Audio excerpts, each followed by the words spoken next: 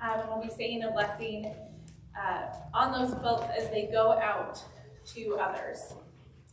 Um, recorded worship is back. We've got it going here. If you are willing to learn how to do it, we even have a tablet now. So you don't even have to download the app to your own phone. We're making it really easy. Siri, stop it. Um, we're making it really easy if that is something that you're willing to learn so that we can keep that as a resource for folks. Um, several other announcements that we've got going. The Ecumenical Thanksgiving service is Tuesday evening at 6 p.m. at Elkhardt Baptist. Um, so if you're interested in that, that's that timing. David Schumann is stepping down as treasurer, which means we need a new one. If that is something that you think your gifts might be lending themselves towards, please talk to me, talk to David, talk to Ryan Shannon. Um, David is willing to stay on and help train that position, so you won't just be thrown into the deep end. Um, but we do need somebody to step in for him. Lots of other things are happening. I don't know if, uh, if I can get to all of them, but make sure that you read this, please. Make sure you read it. There are a ton of announcements. Some other ones that I want to highlight especially are, we have poinsettia order forms. Um, the orders for the poinsettias are due on December 4th. So that is two weeks from today. So if you would like to order poinsettia for Christmas, do that. Instructions on how to do it are in this green sheet. The annual meeting is being called for December 11th, following worship. So, plan to be here December 11th, following worship. Yeah, I'm going to get you back. December 11th, following worship. The week before, prior to worship, um, we'll be doing a budget Q&A. So if you have any questions about the budget, we're hoping that we can get a lot of those answered on the 4th to help the meeting on the 11th go a little faster and a little smoother. Um, Babs just lifted up the sign-up sheet for the Yeah. Hornet. 42 people signed up, which is awesome, but we still have room for more. Next week is the last week to sign up for the ladies' lunch. Yes, and as a reminder, if you have kids under five, we said, right? Kids under five, um, Inga will be here staffing the nursery. So they just need to know that you will need that care, um, and we can take care of that. feel like I'm missing something. Point at me if you were a person who told me I needed to announce something and I haven't announced it. Yes. Oh, Christmas Mother. Yes, thank you. Do you want to explain, Claire? You might be able to explain better than me. Um, just to let everyone know that next Sunday is the last Sunday to bring your Christmas mother gifts. It's Thanksgiving weekend, if you're not gonna be here next Sunday, you can bring them anytime the office open. And next Sunday is the last day. Great, thank you so much. Again, ton of stuff in here. Please read it. I just wanted to talk about the budget committee real quick as well, just to highlight that. Um, in the announcement, the newsletter went out this week, it said it was after worship on December fourth. It's actually gonna be before worship on December fourth, just for every, for everybody that, because we have family cake and fellowship after worship on that day. And I just wanted to kind of add a little bit to the pastor. There's gonna be some complexity with the twenty twenty-three budget. We're gonna try and get a draft in everybody's hands after council meets this week, just so you all can review it. And if you have questions, come and Q and A for Eric on the board. But I just wanted to call it out, there's gonna be a little bit of complexity. I mean, obviously, we'll go over it in full detail at the annual meeting, but also on the board, we'll get an opportunity to get into the weeds and any questions that you all have. It's, well, four, at nine o'clock. Yes, lots more stuff in here, including some stuff for um, some fellowship opportunities and other stuff happening. So make sure you read this very carefully. See no other announcements. Oh, one other announcement that I just remembered. I, there's so much happening right now. Um, starting next week, as we move into the first Sunday of Advent, as we move into the new church year, um, that's also a seasonal change for us in our liturgy. Um, so we're actually going to start using one of the new settings out of the new hymnal that's come out of the ELCA. It's called All Creation Sings. Um, so don't worry, we're going to learn it together. It's going to be great. Um, but that's just a heads up to you all when you show up next week. If you're like, oh my gosh, none of this music is familiar, um, it's not going to be that scary. We're going to get through it together. Let's prepare our hearts for worship.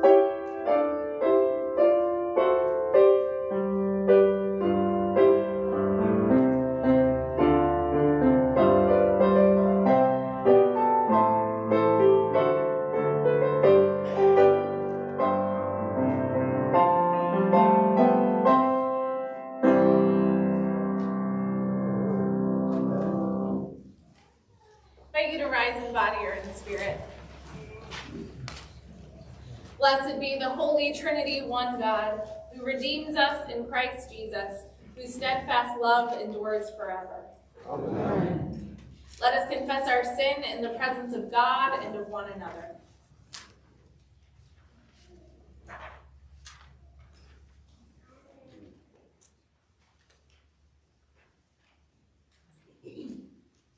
Most merciful God, we confess that we have sinned against you and our neighbors. We have ignored voices that call for your justice.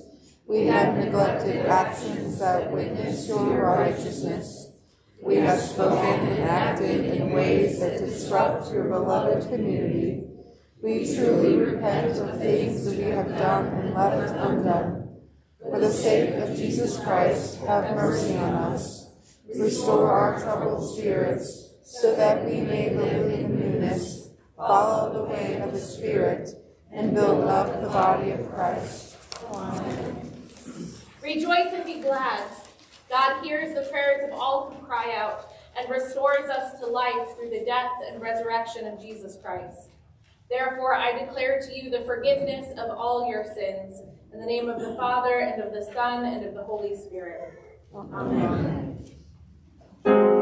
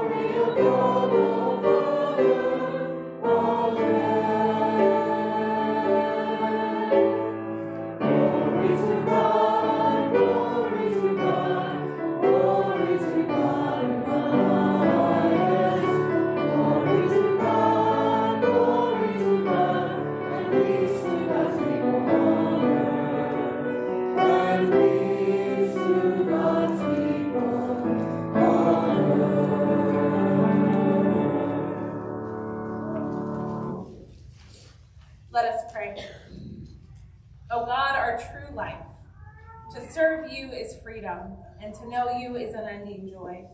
We worship you, we glorify you, we give thanks to you for your great glory. Abide with us, reign in us, and make this world into a fit habitation for your divine majesty. Through Jesus Christ, our Savior and Lord, who lives and reigns with you and the Holy Spirit, one God, now and forever. Amen. Be seated.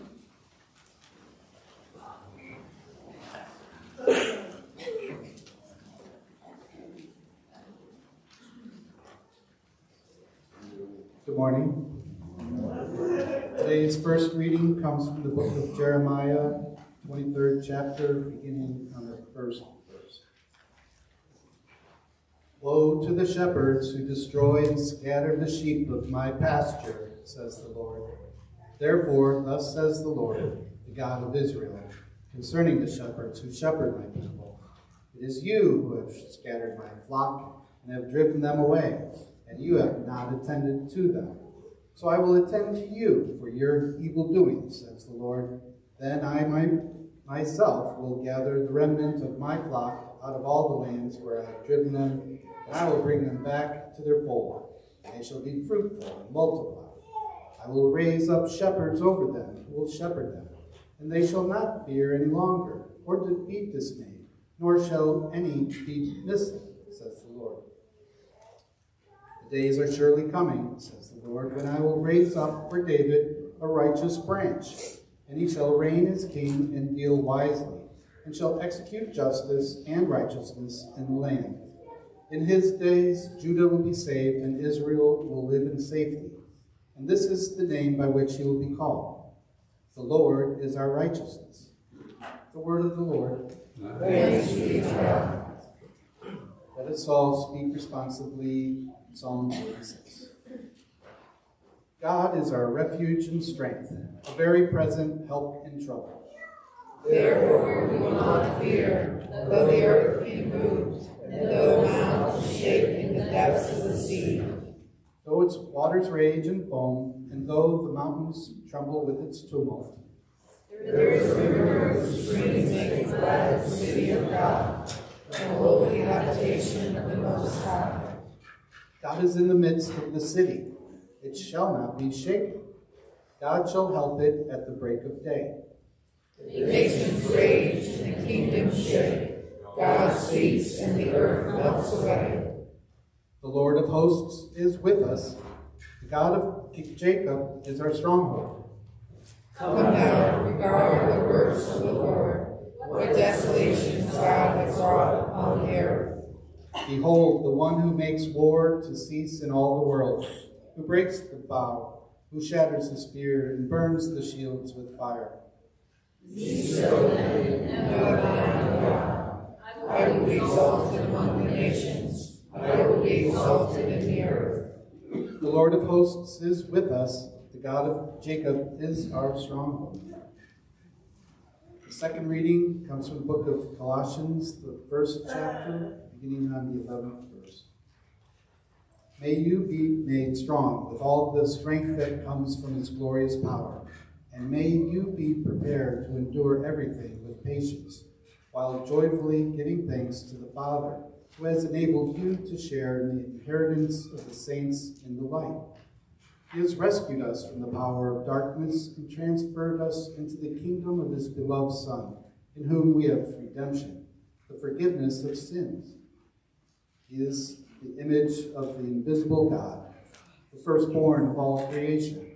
For in him all things, in heaven and on earth, were created, things visible and invisible, whether thrones or dominions of rulers or powers, all things have been created through him and for him. He himself is before all things, and in him all things hold together. He is the head of the body, the church.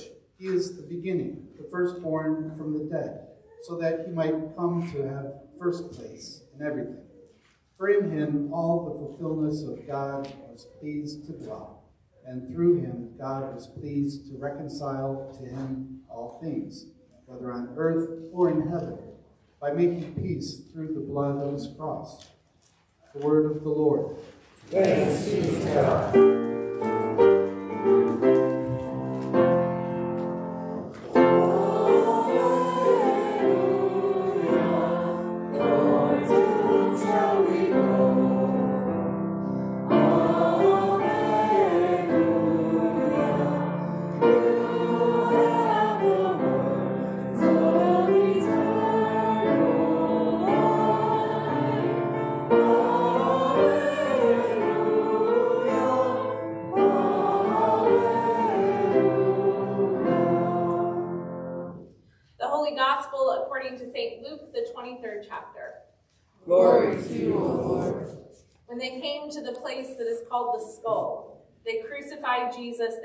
Criminals, one on his right and one on his left. Then Jesus said, Father, forgive them, for they do not know what they are doing. And they cast lots to divide his clothing. And the people stood by watching. But the leaders scoffed at him, saying, He saved others. Let him, let him save himself if he is the Messiah of God, his chosen one. The soldiers also mocked him, coming up and offering him sour wine and saying, If you are the king of the Jews, save yourself. There was also an inscription over him, This is the king of the Jews. One of the criminals who were hanged there kept deriding him and saying, Are you not the Messiah? Save yourself and us. But the other rebuked him, saying, Do not fear God, since you are under the same sentence of condemnation. And we indeed have been condemned justly, for we are getting what we deserve for our deeds, but this man has done nothing wrong. Then he said, Jesus, remember me when you come into your kingdom. He replied, Truly I tell you, today you will be with me in paradise. This is the gospel of the Lord. Praise to you, O Christ. You may be seated. I'd like to invite any of our youngest members up.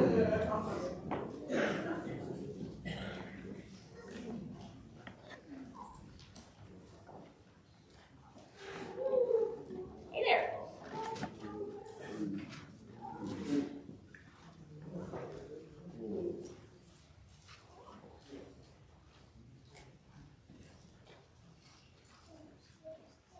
Hi.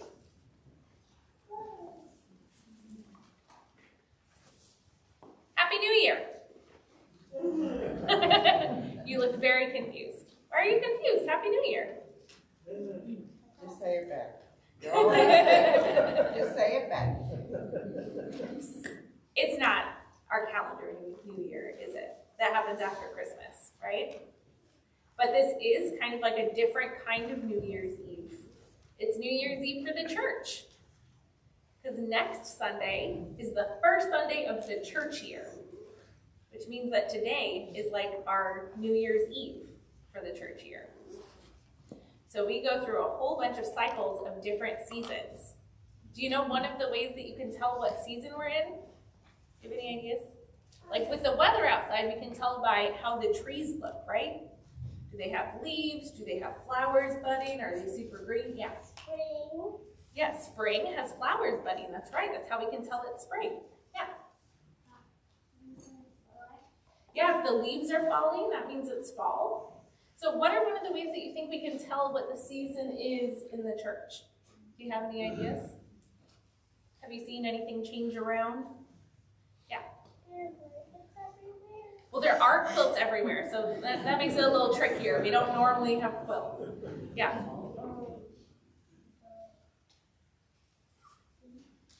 This? Yeah.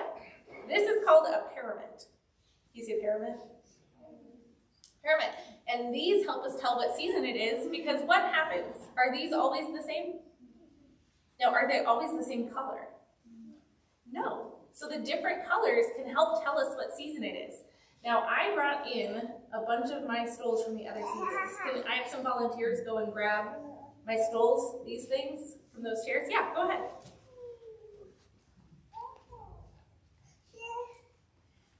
So we got green, we got purple, blue, and red. All right, thank you. So these are four of my stoles. Some of them my aunt made me. My white one, my blue one, and my purple one my aunt made for me. The white one she made first, which is why it's too short.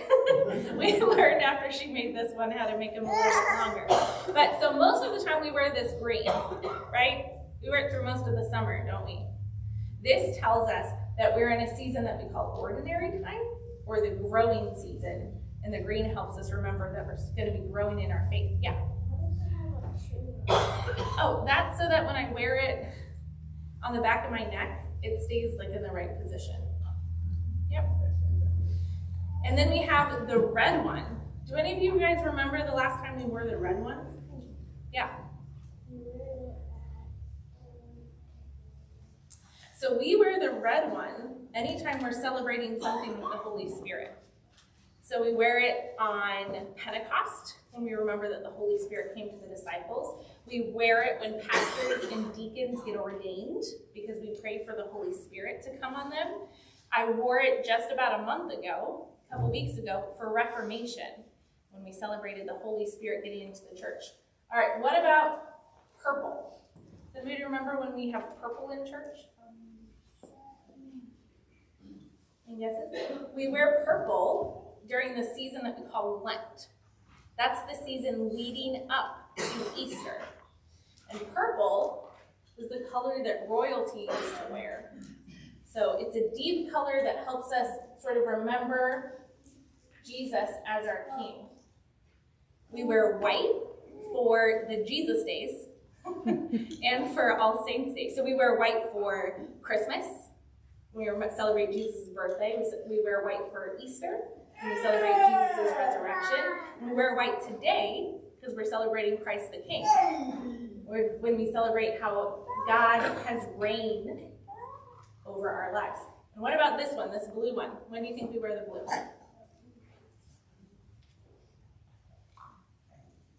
Any ideas? There's one season left. Yeah.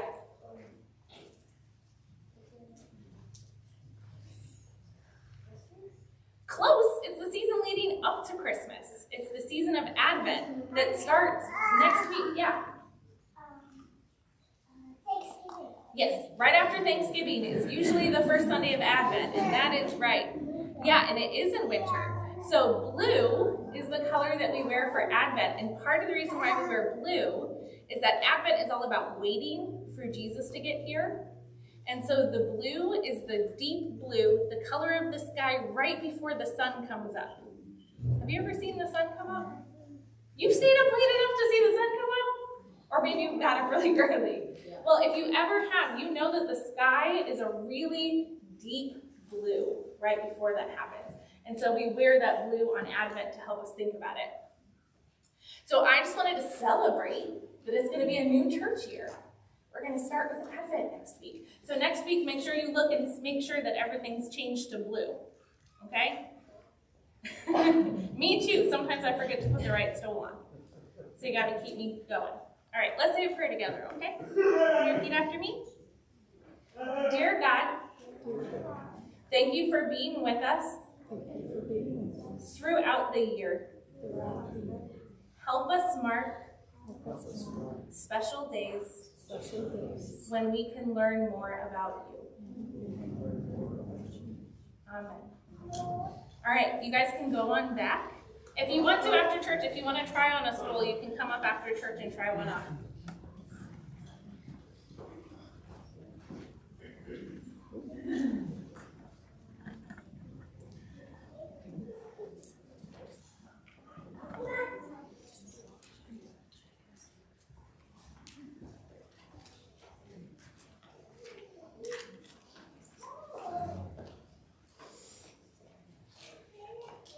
So just spent some time explaining to our youngest members that today is the last day of the church year.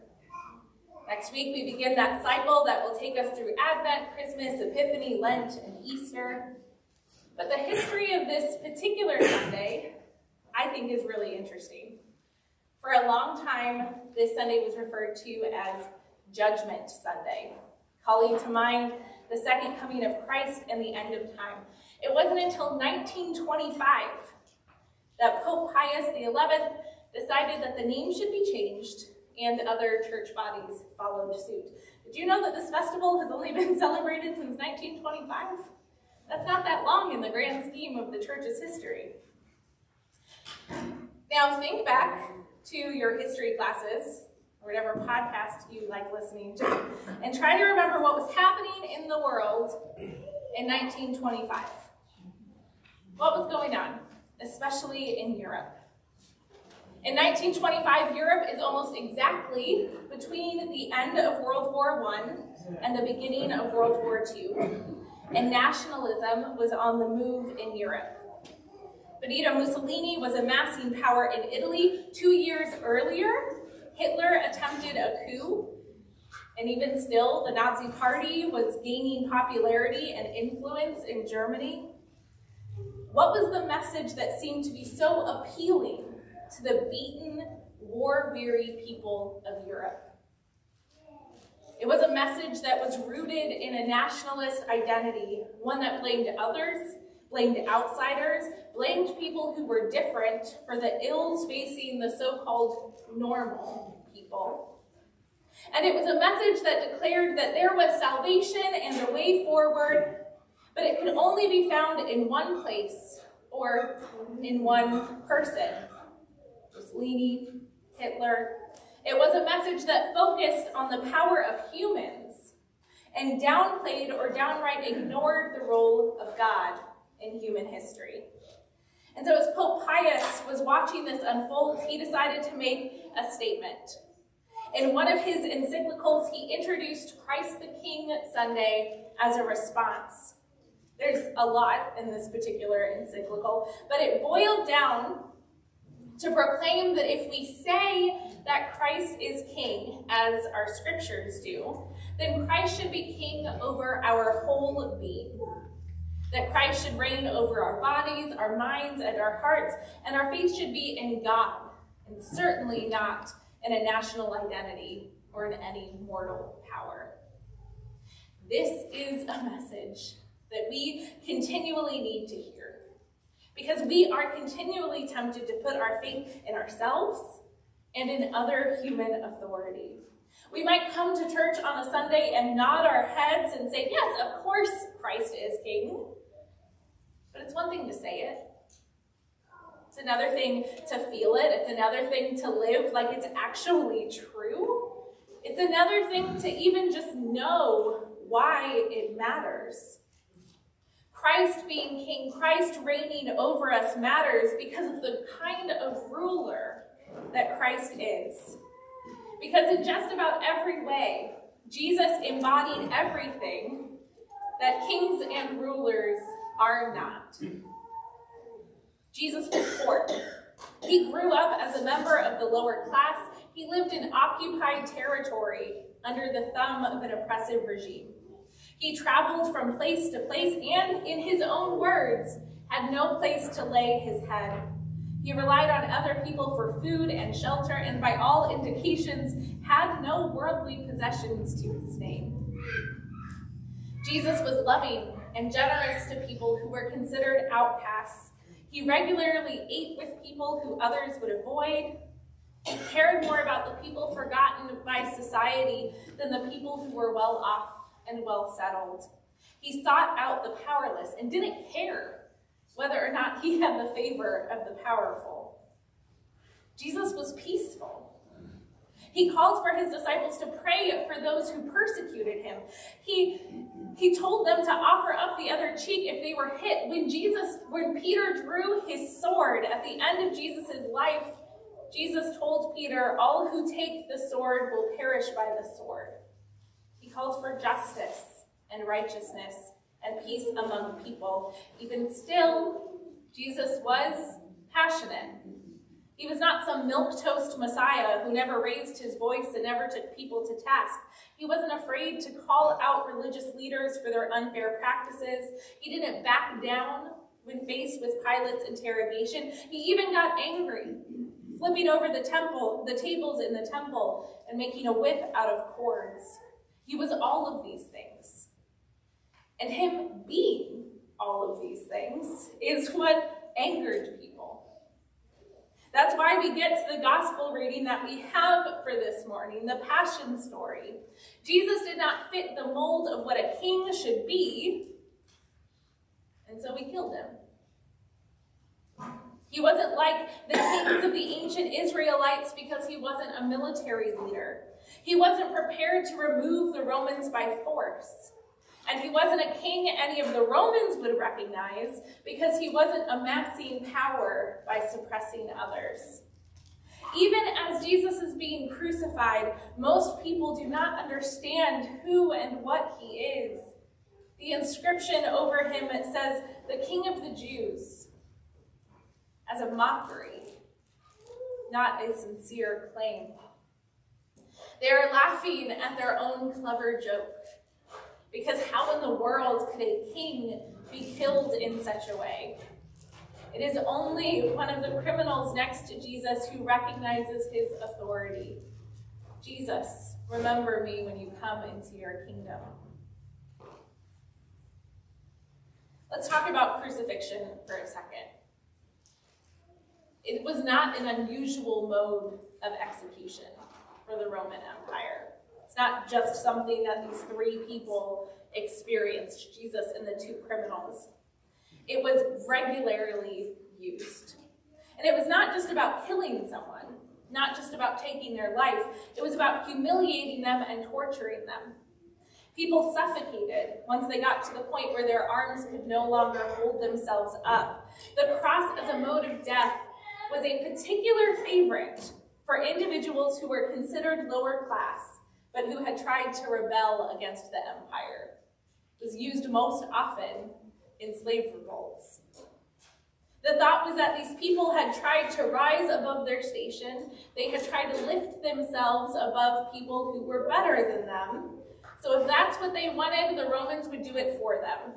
They want to be lifted up? Sure, we'll lift them up. They were often left on display for days or weeks as a public sign of what would happen if you dared defy Rome. In fact, the cross was so horrifying a symbol that it took Christians until over a hundred years after Jesus' death for it to be used as a widespread symbol for a Jesus follower. Like they'd, they'd have a heart attack coming in here and seeing a cross on display as a symbol of our faith. We've sanitized it now, but it would be like worshiping with an electric chair or a guillotine in front of us. But our King was crucified because our King was unexpected. Our Messiah, our Savior, our Sovereign is by all accounts a criminal executed by the state, and that doesn't sound terribly kingly to most people. But thanks be to God that we didn't need God to come into our world as the king the world expected. We needed God to come into our world as the king that we needed. We need a ruler who leads with abundant love instead of caring only for those deemed worthy. We need a ruler who relentlessly pursues peace and justice instead of vengeance. We need a ruler who is generous instead of one who either hoards or squanders resources.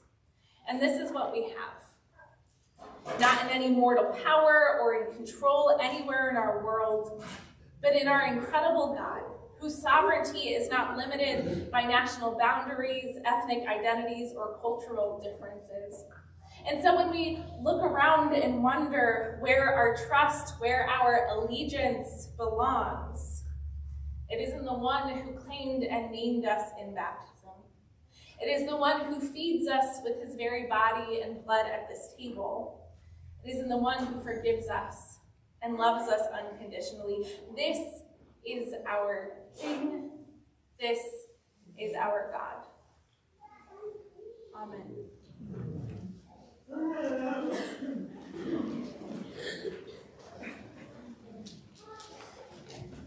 Invite you to rise in body or in spirit as we sing our hymn of the day.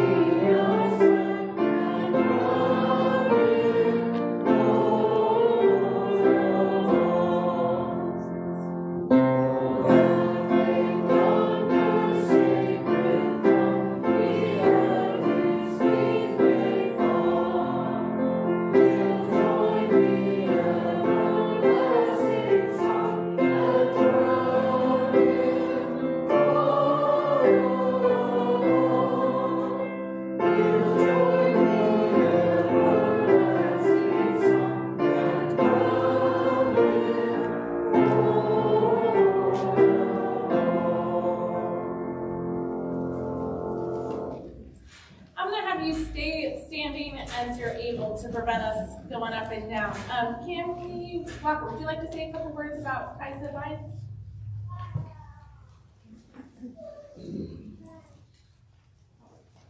you go. I just want to thank everyone who's participated in any way with our ministry, Ties Mine. It's, um, it's such a passion of mine as far as creating something warm, colorful, and loving to give to someone in need. So if you have helped us in any way, we appreciate it. Please continue to support our ministry, and we thank you as we just um, enjoy and dedicate these quilts um. I'm going to invite you um, to put a hand on a quilt near you if you don't already have one. Let us pray.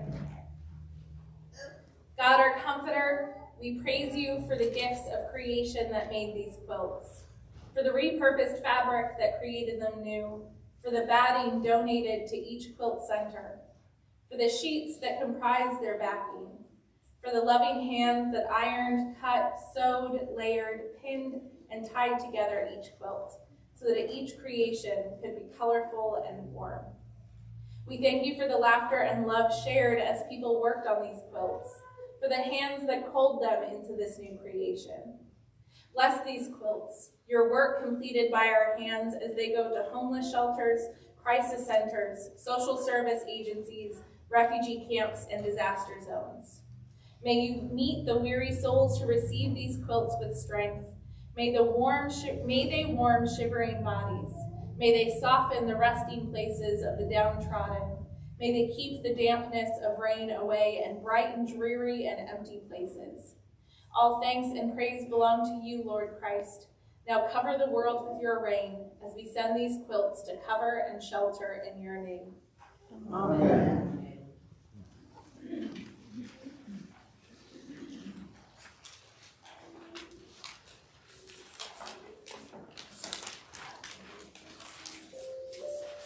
United with your saints across time and place, I pray for our shared world.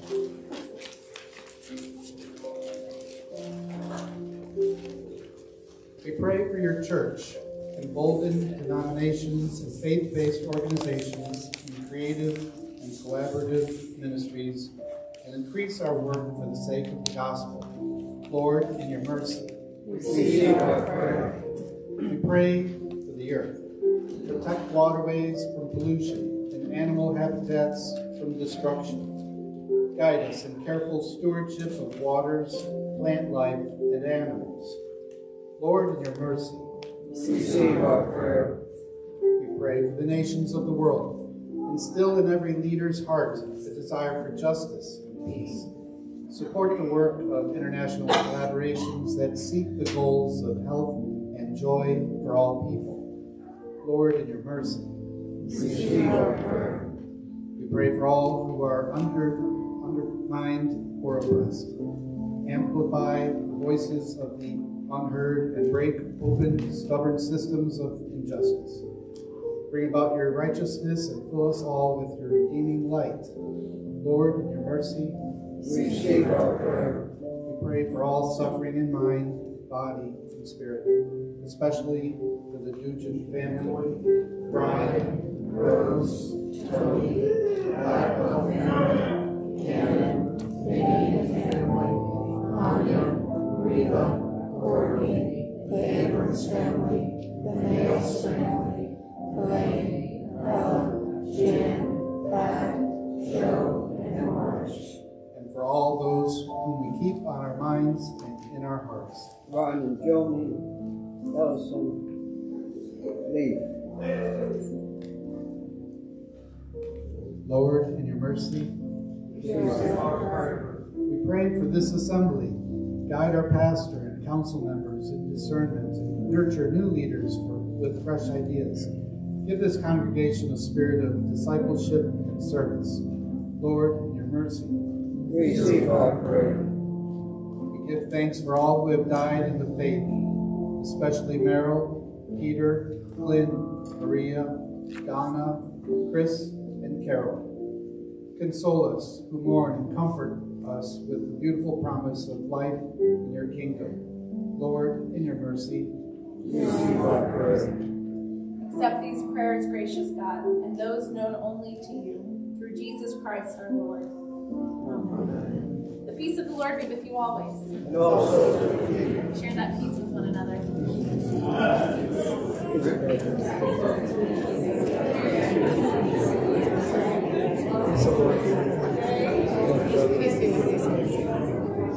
peace be with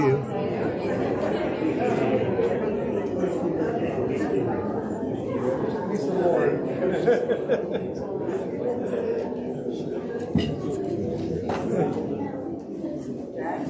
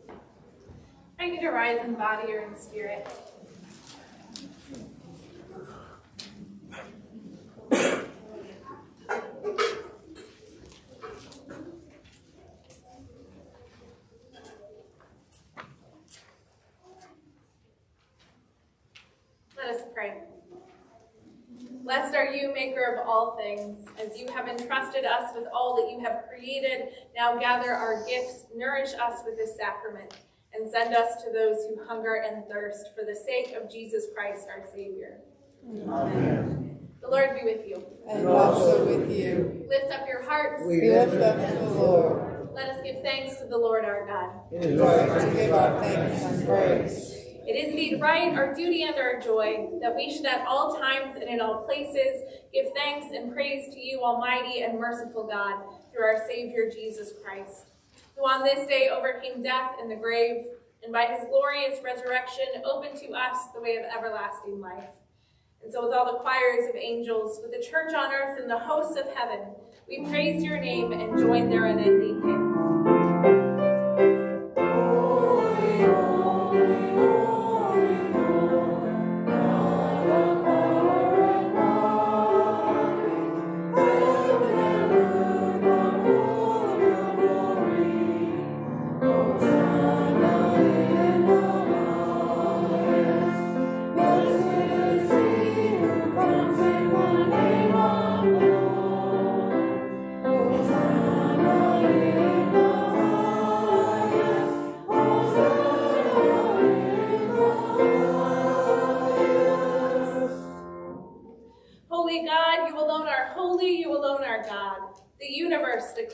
praise.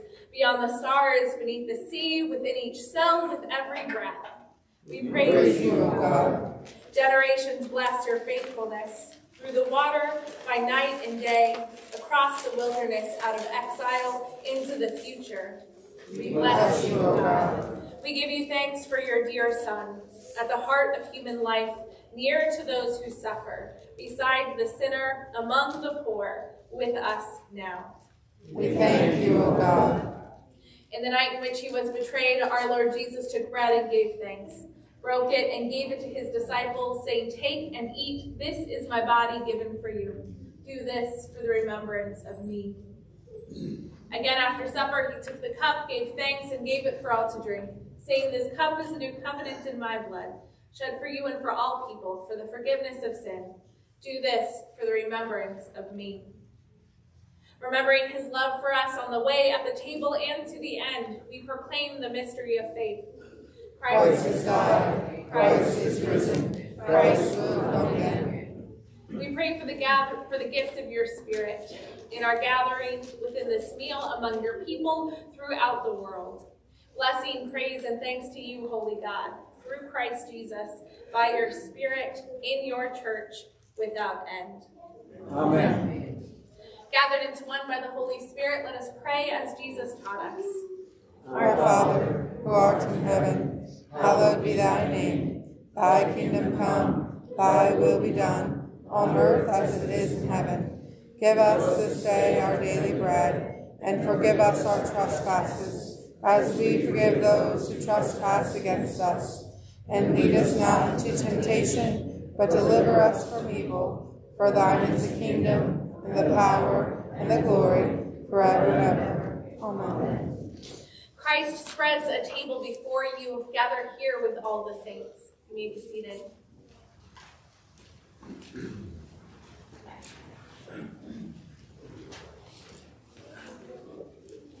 Lamb of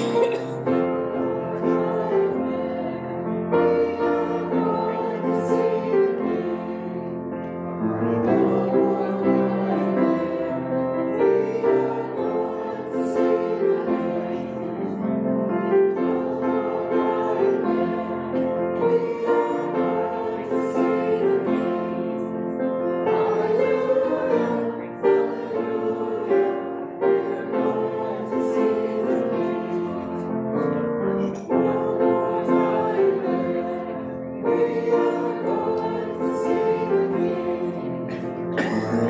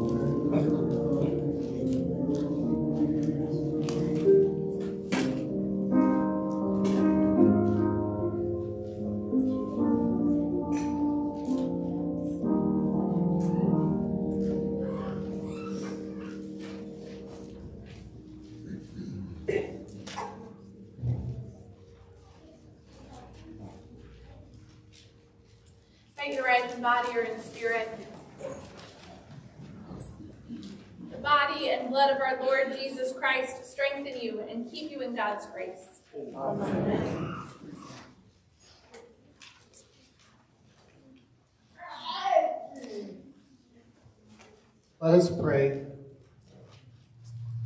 We give you thanks, most gracious God, that you have fed us with the bread of heaven and given us a foretaste of paradise. Enliven us to be your body in the world and to serve those who are in need. Through Jesus Christ our Lord. Amen. The God of peace, who creates all things and calls them good, who makes us alive in Jesus and who breathes on us the spirit of hope bless you now and forever.